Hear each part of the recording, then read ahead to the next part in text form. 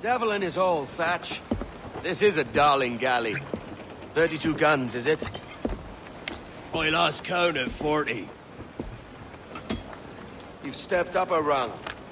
So, any luck finding medicines here? Nothing round this spot, sadly. But there's a few wrecks yonder that haven't been scoured by nothing but crabs and coral. I'll have a look. Edward? Edward, is that you?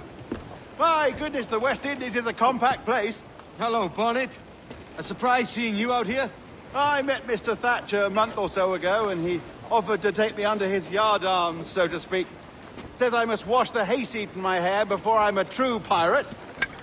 Well, good luck to you then. Worst men have become better under Blackbeard's watch.